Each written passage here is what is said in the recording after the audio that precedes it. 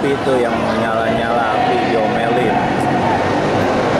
Jadi selebrasi tapi dia pakai gitu apa frame gitu ya flame. Apa sih bahasa Inggrisnya? Kembang api gitu ya. Takutnya membahayakan gitu merusak fasilitas. Nggak boleh. Tapi ada kerucuan sedikit tuh. Oh ini sempat marah. Ofisial nah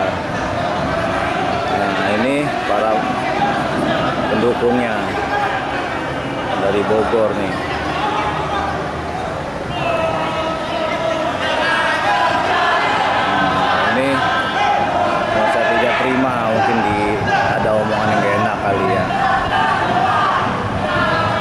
Inilah harusnya Indonesia maju dong gitu ya teman-teman ya.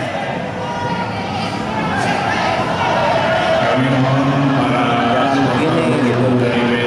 Yuk kita maju yuk. Maju maju maju yuk kita saling menghargai gitu. Kita nikmatin aja pertandingannya gitu. Kita kasih support. Ya nggak usah yang namanya eh, apa ya memancing keributan. Jangan jangan jangan. Dan kita satu bendera merah putih gitu ya. Kita ini merah putih. Jadi kita ini saudara kita bersaudara nggak usah baku hantam gitu ya. Dan memang peraturannya tidak boleh menyalakan kembang api di stadion ya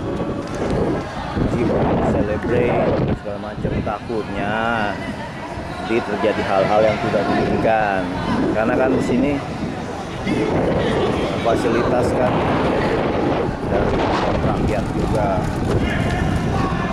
terjadi kebakaran kan repot kursi-kursinya kebakar gitu rusak lagi. Biaya kan jadi mahal bukannya tambah bagus malah tambah ya, apa namanya balik lagi ke nol dibenerin lagi dibenerin lagi. Saling makin memang udahlah. Ini teman-teman dari klub Bogor nih apa namanya tadi lupa. Ya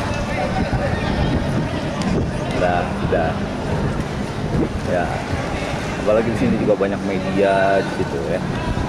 Ini kan jadi jelek klubnya nah, kan ini gue kok gue sorot nih.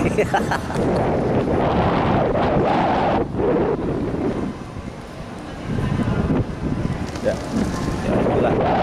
Lintir cerita cerita dari dunia sepak bola Indonesia. Yuk kita dukung yuk. Ya sepak bola Indonesia. Eh, balik lagi nih di mari tadi. Gue capek mau bikin podcast. Eh podcast. Bikin konten vlog. Ini.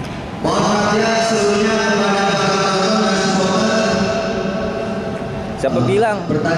Live streaming itu butuh banyak personil. Oh,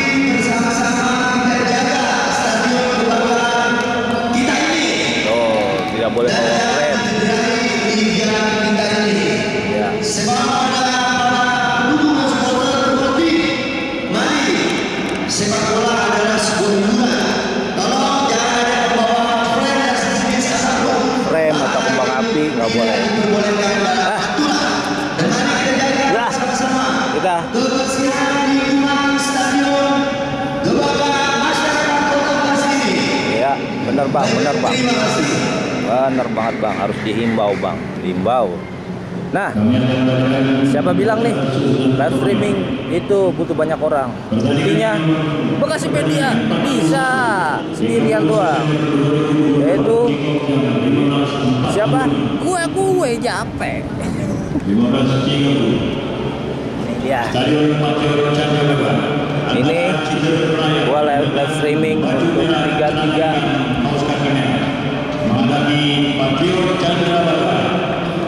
Baju hijau satu Surabaya Oscar hijau. lawan apa tadi yang ngomong Berikut daftar pemain utama. melawan. Persipasi. Tadi bajunya apa ya? Persipasi udah pasti hijau lah. Ah, empat, Bentar, ini gua nih. Gua sebagai kameramen dan juga operator dan juga apa konten kreator? Terus yang jagain sinyal loh pakai alat ini alat antena parabola ala ala jape. Ya. ntar komentator nih kalau ada yang datang nih gue sendiri anda jadi semuanya serba japek kan tadi gue megang kamera sembari ngomong sembari monitor kan itu sinyalnya ya kan? Gambar kayak gimana? Halo! Semua bisa gue pegang. Nah emang tipi-tipi? Nggak mau ngayar gue nih? Yakin nih Eh? Lu ngayar gua menang banyak lu. Oke, ah, males gua kalau kerja di apa di TV luaran sana. Ntar gue jadi anak gua. Kalau di sini kan gue jadi bos. jadi bos. Di sini gue nggak ada yang ngatur. Yang ada gue yang ngatur. Secara status gue nggak jelas di apa radio Delta FM ya, dirumahkan dari pandemi kemarin. Sampai kapan? Belum jelas. Ah, mendingan gua kreatif sendiri. Ya gak bikin konten-konten kayak gini nih. Tuh. Live streaming bos Oke, ya kita simak aja. Gua kebanyakan ngomong kan nggak ada istirahatnya. Soalnya saat lagi mau live streaming ini. Tuh. Oke, cekidot. Ser.